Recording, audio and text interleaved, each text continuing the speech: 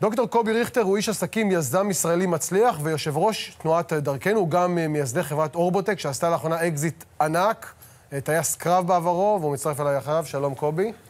שלום, ערב טוב. קודם כל תודה רבה שבאת. תשמע, תכף נדבר על דרכנו ועל התנועה, אבל אי אפשר כמו אנחנו ישראלים. בוא נעשה רגע חשבון קטן על זה. תשמע, אתה, זה אקזיט שלישי גדול, נכון? או שלא ספרתי טוב? הגדולים. א', אני לא רואה את זה כאקזיט. האקזיט של אה, אורבוטק היה ביום שהיא יצאה public כחברה מאוחדת בין אורבוט ואופטרוטק. כן, אבל זה... היה לה איזה רגע אחד שהמניות שלה צנחו ב-2008 וכמעט דיברו עליה כאל סיכון. ועכשיו היא נמכרה ב-3.4 מיליארד, וזה מצטרף לאקזיט הראשון של 30 מיליון שעשיתם על מכשור רפואי, ואחר כך על הסטנטים. אה, מאות מיליוני זה, ופה מדברים על 180 מיליון דולר שאתה ורעייתך יהודית, זה הרבה כסף. הפסקת לדבר על אורבוטק והתחלת לדבר עליי. אה, אני לא סופר את הכסף. כמו שאתה רואה, אני איש... טוב, זה לא חוכמה. איש, אני איש פשוט עם חשבון בנק ראוי. וכשאנשים אה, מסתכלים עליך... מה שחשוב לי... אומרים, גם... איך עושים את זה? יש לך נוסחה? אין לי נוסחה. יש לי דרך לנתח את המרכיבים של ההצלחה, שהגדול בהם הוא אה, צירוף מקרים, או אם רוצים לקרוא לזה מזל. 95 אה, עד 99 אחוז מהסטארט-אפים נכשלים. גם כשאני ניתחתי בדיעבד את ההצלחה שלנו באורבוטק, אה, אם היינו מתחילים ועושים בדיוק אותו הדבר, שנה יותר מאוחר או שנה יותר מוקדם, בהחלט יכול להיות שהחברה לא הייתה ממריאה, אז צריך לעשות את הדברים הנכונים. צריך לעשות מערכות, ואורבוטק עושה מערכות שאין שום מתחרה קרוב לה בעולם, אין שום מכשיר מהטלפונים שלך ועד המסכים של הטלוויזיה שמסתכלים בנו, שאפשר לייצר אותם בלי המערכות של אורבוטק בקו. אבל צריך גם אה, מזל. עכשיו, יחד עם זה, יש משהו בתרבות שלנו שהוא שילוב של המסורת היהודית ארוכת השנים, אה, של לימוד. אה, ההורים שלי... אתה תביא עכשיו את דף התלמוד וזה, זה כאילו... לא, אה. אני, לא, אני הולך לעובדה שהדור של אבותינו אמר לנו, חבר'ה, מה שיש לכם בראש זה הדבר היחידי שאי אפשר לקחת מכם. אם זה אלה שהיו בשואה וגורשו מהכל, חוץ ממה שהיה בראש. אם זה ההורים שלי שלחמו במלחמת השחרור, שבה לא היה ברור שמנצחים, אבל את מה שיש בראש אתה לוקח איתך או למקום החדש, או חס וחלילה נעלם איתך. ואל זה אני מצרף את האופי הישראלי, שיש בו משהו מן השחצנות, שיש בו משהו מהביטחון העצמי המופרז, שנדרש בשביל להיות יזם ולבוז לסיכויים הקטנים להצליח, והרבה התחלות ייצרו גם הרבה הצלחות. באמריקאית קוראים לזה חוצפה. תשמע, כן, נכון. אז בוא נסכם שאתה איש עשיר. אז דווקא רוצה שתתייחס רגע לכלכלה. כי אתמול ישב כאן אבי שמחון, היועץ הכלכלי של ראש הממשלה, שהוא ראש המועצה הלאומית לכלכלה, ואמר, נתניהו, בעשר שנותיו אה, כראש הממשלה, צמצם את אי השוויון ועזר יותר לעניים מאשר לעשירים. זה נכון? אני חושב שזה לא נכון. אני חושב, ראשית, שהקרדיט שלוקח לעצמו נתניהו על, על, על הצלחות הכלכליות שהן בעיקר הייטק בשנים האחרונות, ההייטק במדינה הזאת התפתח למרות נתניהו, לא בעזרת נתניהו, וזה טרמפ לא יותר. אני חושב שהכלכלה בשנים האחרונות דווקא הגדילה את הפערים. אני חושב שה...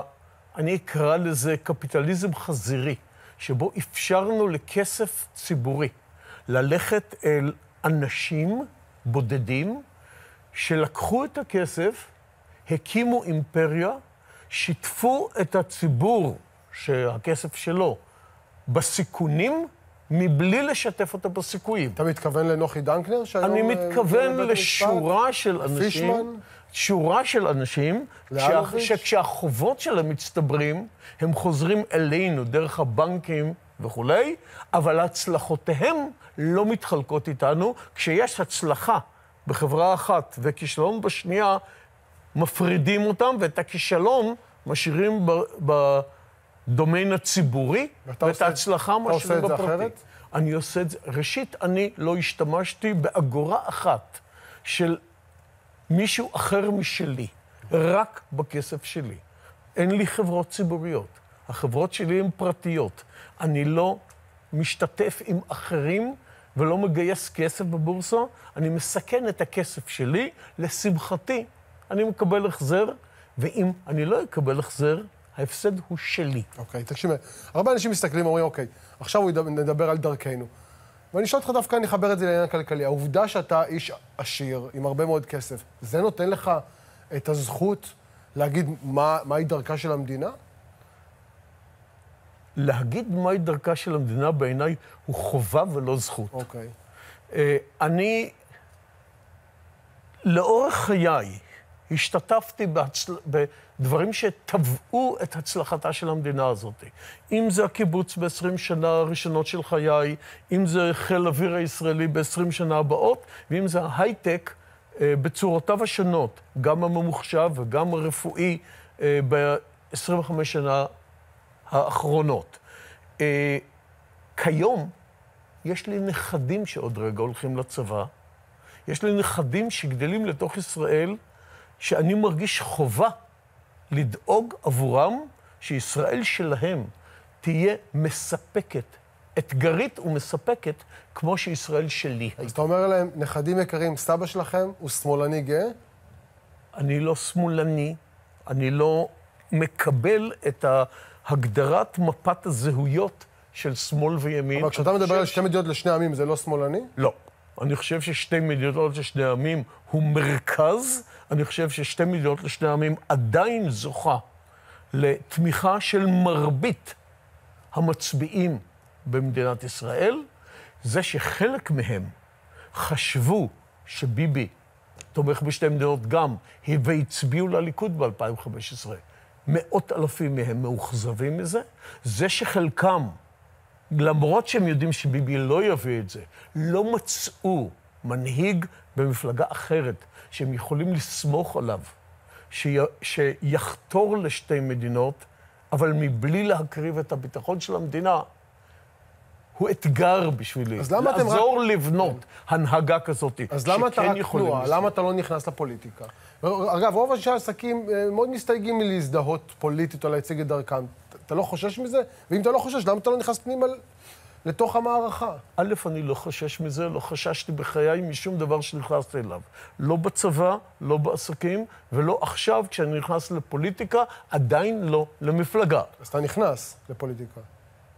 התנועה היא תנועה פוליטית. Okay. היא לא מפלגתית, אבל היא פוליטית. יש לה אג'נדה... יש דבר כזה, תנועה פוליטית לא מפלגתית? כן. או שהיא תנועה פוליטית שמחפשת מישהו, איזה, איזה טרמפיסט, שיגיד, אוקיי, תומכים בך. לא. זה יאיר לפיד, אבי גבאי, או מישהו מהצד לא, שאומר שתי מדינות לשני עמים. לא, היא תנועה פוליטית שאינה מציבה נבחרת של מנהיגים בשלב זה, אלא מציגה אג'נדה.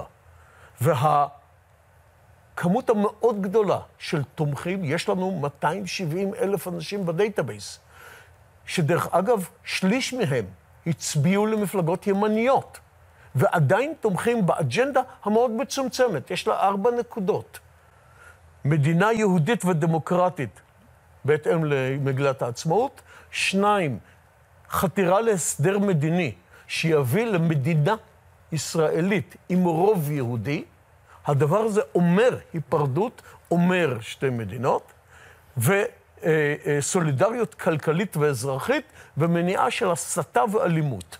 זה הכל. אל, אל האג'נדה הזאת, כל מפלגה, כל אדם שמצטרף אלינו, אני לא אומר לו לאיזה כן. מפלגה, אני אומר לו, תצביע למפלגה שאתה חושב שמקיים את האג'נדה הזאת שאתה מאמין בה. קובי בזה נסיים. תודה רבה לך על הדברים, יושב ראש דרכנו ואיש אורבוטק. אה, תודה רבה לך שהגעת. תודה לך.